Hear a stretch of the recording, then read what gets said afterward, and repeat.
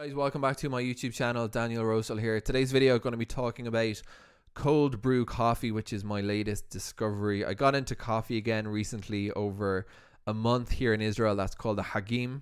And uh, during this month, um, basically observant Jews. I know you're listening to a video about cold brew expect to hear about Jews, but bear with me for one second. Observant Jews don't use electricity or uh, cook. So I kind of got into Turkish coffee again. Then I was like, wait, through so many days I can't enjoy it. I should find a way of making coffee that I can, that with my religious views, I can make all the time. And I hit upon cold brew coffee. Never heard about it before. Now, I'm pretty transparent with myself, I'd like to think, when it comes to the reasons I ingest coffee. It is for the caffeine content. And what I'm when I'm discovering cold brew at the moment, I'm reading a lot about you know different ratios, dilute cold brew, cold brew, uh, concentrate, ready to drink cold brew. Watching a lot of YouTube videos, reading a lot of recipes online. There's even a subreddit for cold brew, and I'm trying to think the whole time what are the factors affecting the caffeine. Now I'm making one liter of cold brew per day as my like sort of daily, you know, cold brew to have.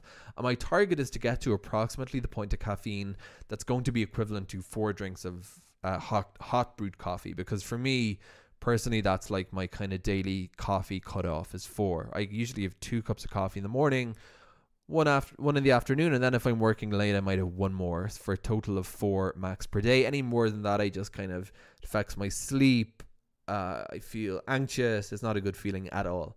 So that's what I'm trying to replicate. Now, I've been thinking about reading all these ratios, reading all these recipes, what's actually affecting the caffeine.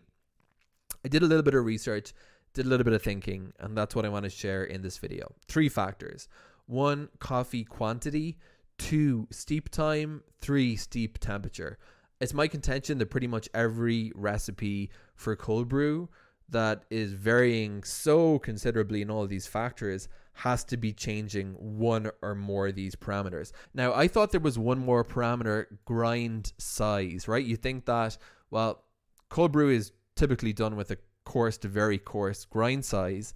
Uh, but some methods use a, a, smaller grind size, and the reason they do that is because, or they're able to do that because they're using, you know, more filtration as an extra step, maybe running the cold brew through a Chemex or cheesecloth or something like that. I'm using one of these immersible stainless steel grinders. But I, I was kind of assuming that, well, if you're using, let's say, a medium grind or even a fine grind and filtering, it's probably stronger. The reason I thought that was, well, you're breaking up the coffee bean into more parts, you're increasing the surface area of the coffee in contact with the water, so you're going to extract more efficiently and extract more caffeine. I did find, and guess what? Not the case.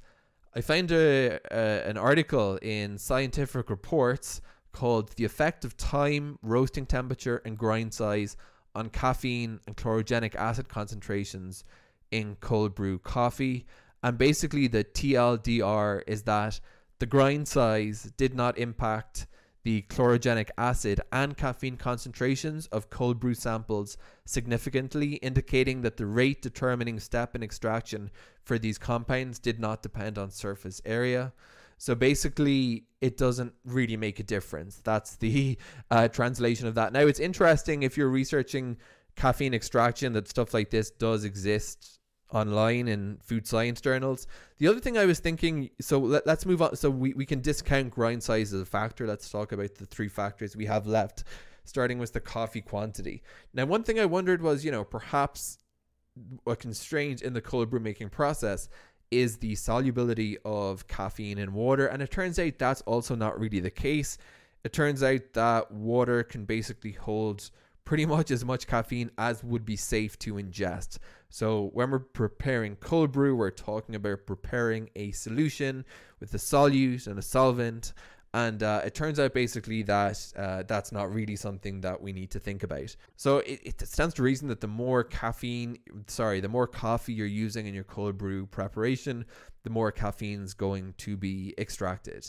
Regarding factor number two, the steep time. So I've seen this very just like so wildly. Some people have done a four hour uh, caffeine extraction as cold brew extraction. Some people have done 48 hours. Now, what I'm looking for, and if you have found this online, please drop me a comment or I will upload another video when I actually source this information online.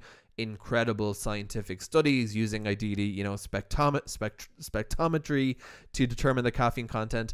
I haven't seen um, graphs about at what time there's no more caffeine being extracted. I imagine whether we're talking about cold extraction or room temperature extraction, that is going to become a point in time at which basically as much caffeine as can be extracted has been extracted, or all the caffeine's been extracted from the beans. Those are not the same thing.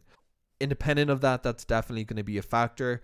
And uh, you can find scientific uh, papers online basically plotting out up to short brewing times because they're intended for hot coffee how long uh, you know that the basically it's an increasing relationship the more time you have that coffee in contact with the water the more caffeine is going to be extracted that brings us on to our final factor which is the steep temperature now you can definitely find this information online how brewing temperature affects caffeine extraction again mostly in food science journals unfortunately i haven't been able to find it in for cold brew. In other words, they've looked at this for tea, they've looked at this for coffee, and it is again a direct relationship. In other words, the higher the temperature of the water, the more caffeine is extracted.